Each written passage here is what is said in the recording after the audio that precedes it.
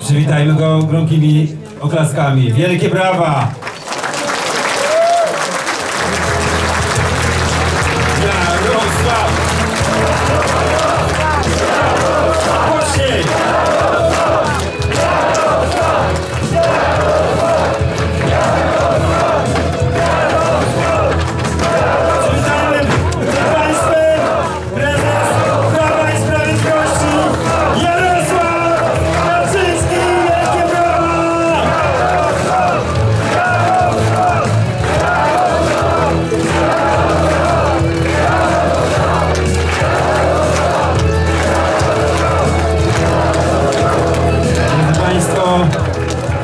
Państwo, witamy prezesa tutaj na naszej skromnej, bielskiej ziemi.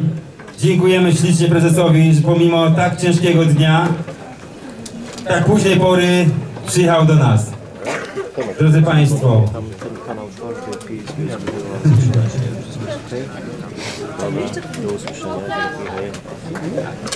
ale drodzy Państwo, zanim zaczniemy konwencję, witam serdecznie wszystkich tutaj na konwencji w Bielsku Białej Prawa i Sprawiedliwości.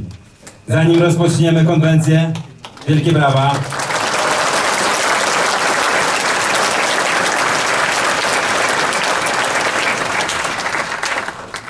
Zanim rozpoczniemy konwencję, zaczniemy ją od najpiękniejszego utworu, od najpiękniejszej pieśni patriotycznej, a mianowicie od naszego hymnu narodowego. Powstańmy wszyscy dumnie z podniesioną głową odśpiewajmy hymn narodowy. Do hymnu!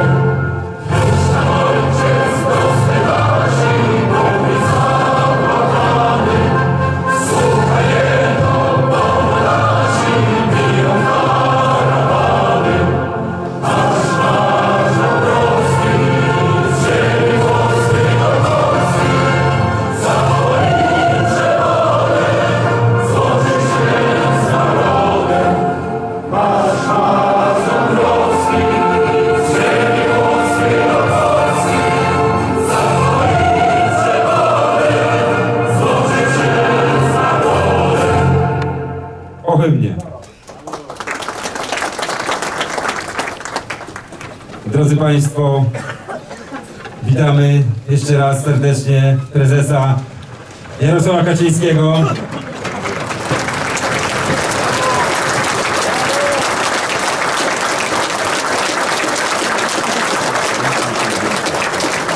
Chciałem też również przywitać wspaniałych gości, którzy tutaj też do nas przybyli, a mianowicie zawsze uśmiechnięta, przepiękna europoseł pani Jadwiga Wiśniewska. Wielkie brawa!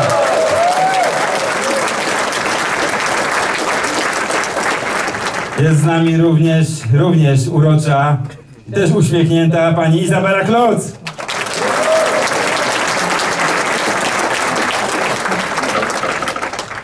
Jest z nami również poseł na Sejm oraz sekretarz stanu w Ministerstwie Rodziny, Pracy i Polityki Społecznej Stanisław Szwed.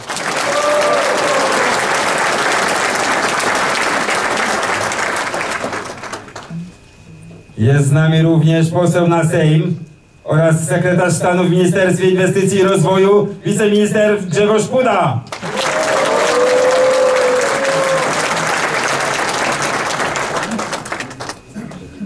Jest z nami również wiceminister energii Adam Gawenda.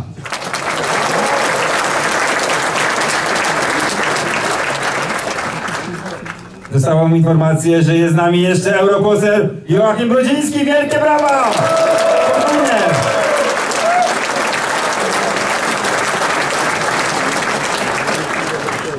Jest z nami poseł na Sejm Kazimierz Matuszny. Jest z nami poseł na Sejm Jacek Walfus.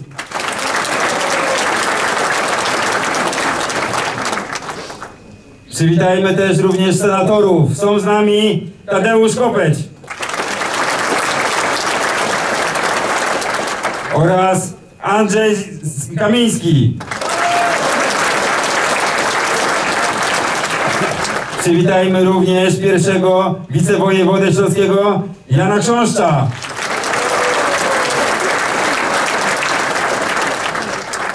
Jest z nami także wiceprzewodniczący Rady Miejskiej w Bielsku Białej Przemysław Drabek.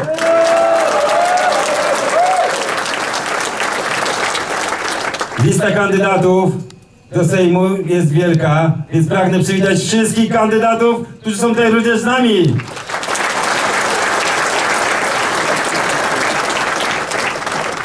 I oczywiście Was, Bielszczanie i przyjaciele z okręgu 27 również witam, wielkie brawa!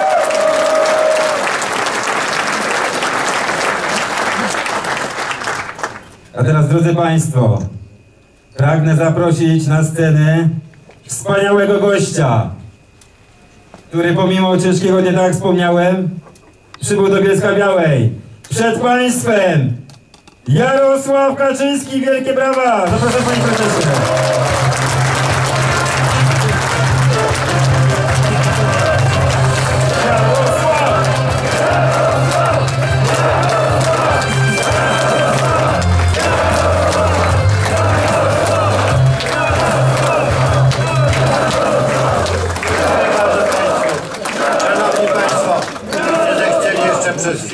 Stanąć, bo dziś został pochowany, pożegnaliśmy ostatecznie Kornela Morawieckiego, człowieka naprawdę wybitnego, niezwykłego, człowieka, który stworzył organizację deklarującą zupełnie wprost, że jej celem jest walka o w pełni niepodległą Polskę i co więcej, dążącą także wprost, i to nie tylko w słowach, ale w, także w czynach do obalania komunizmu w skali całego układu, a więc można powiedzieć w skali światowej. Niezwykła odwaga myśli i niezwykła, jeszcze można powiedzieć bardziej, niezwykła odwaga czynu. I dlatego przeszedł do polskiego panteonu, panteonu tych, którzy szczególnie zasłużyli się ojczyźnie. Proszę o chwilę ciszy.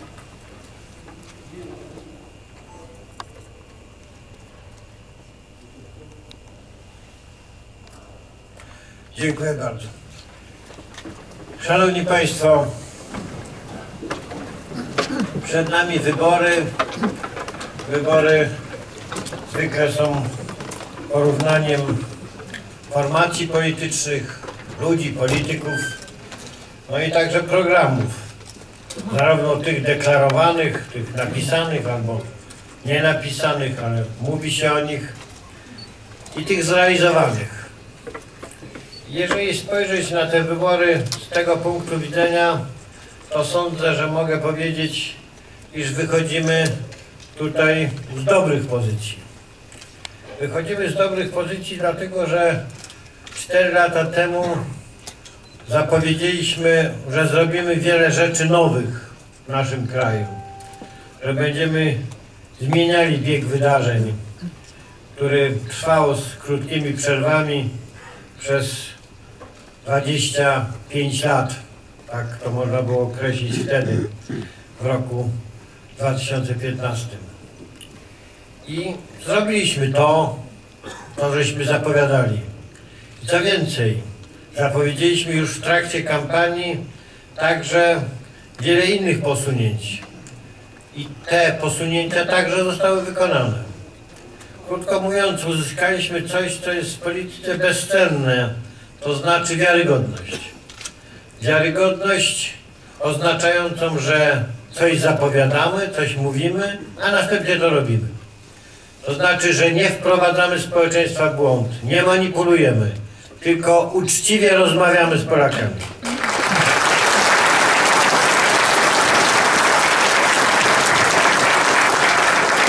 I to jest w naszej polityce, tej po 1989 roku, coś zupełnie nowego.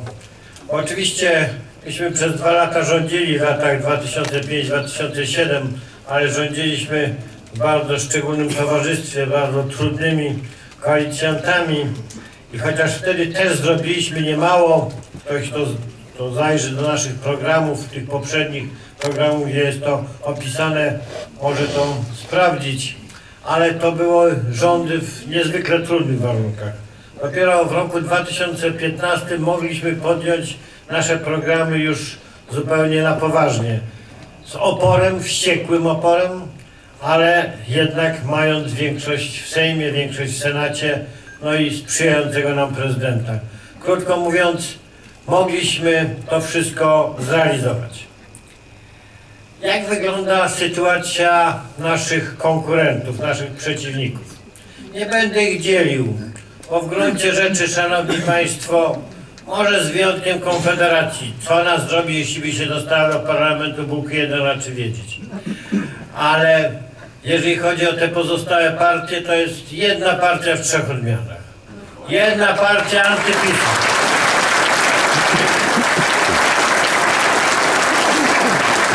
Otóż co one mają nam do zaproponowania? Mają do zaproponowania każdemu, kto ma polityczną pamięć, kto pamięta jak rządzili, a rządzili w różnych konfiguracjach przez wiele, wiele lat, nie tylko przez te 8 lat, o których tak często mówimy, 2,7, 2,15. Otóż musi zapamiętać, że ich słowa naprawdę niewiele znaczyły. Że zapowiadali najróżniejsze rzeczy, a później zwykle było tak samo. To znaczy obowiązywała zasada, że kto silniejszy, ten lepszy. I tak w gruncie rzeczy była jedyna zasada konstytucyjna tak naprawdę przestrzegana. Otóż, jeśli spojrzymy na to z dzisiejszego punktu widzenia, już z punktu widzenia tylko tej kampanii, no można powiedzieć, że mamy tutaj do czynienia z powtórką.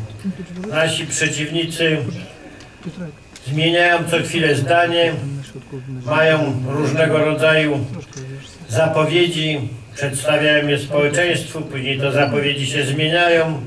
I począwszy od spraw kulturowych, duchowych, odnoszących się do tego wszystkiego, co tworzy naszą kulturę, a skończywszy na sprawach społecznych, ekonomicznych, to tworzy jakąś taką mieszaninę ciągle fluktuującą jednocześnie całkowicie niespójną i jednocześnie też niemożliwą do realizacji. Bo jeżeli ktoś wierzy, że oni utrzymają te wszystkie zdobycze społeczne, o których tutaj można przeczytać na tej tablicy, a to jeszcze nie wszystkie, to naprawdę wierzy w cuda. A dlaczego to jest wiara w cuda? Otóż, żeby przeprowadzić tą politykę, to trzeba było po pierwsze okiełznać gigantyczną patologię w naszym państwie, patologię, z którą oni byli związani, bo przecież jeżeli ją tolerowali, to byli z nią związani.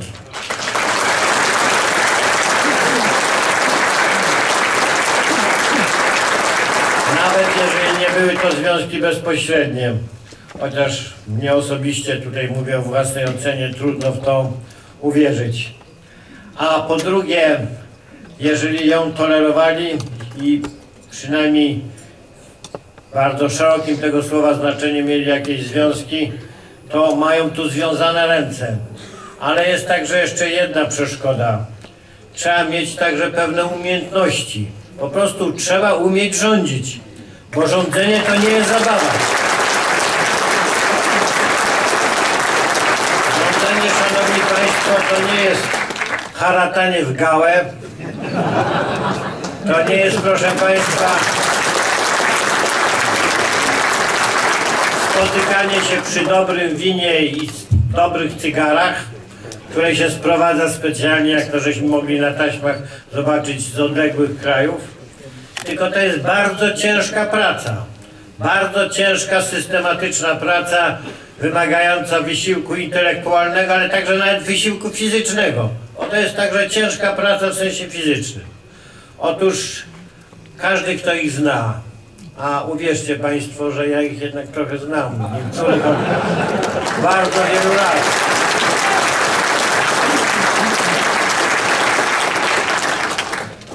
To mogę powiedzieć na podstawie tej znajomości, że z całą pewnością nie potrafią. Nie mogą i nie potrafią. Czyli krótko mówiąc, zapowiadają coś, co jest kompletnie nierealne. Ale co więcej, oni jeszcze do tego, co myśmy zrobili, dodają. No a to już jest nierealne nawet dla tych, którzy by potrafili rządzić. I nie mieli tych wszystkich przywar, które oni mają. Krótko mówiąc, szanowni państwo, oni po prostu opowiadają społeczeństwu kolejną bajkę. Taką jak w 2007 roku.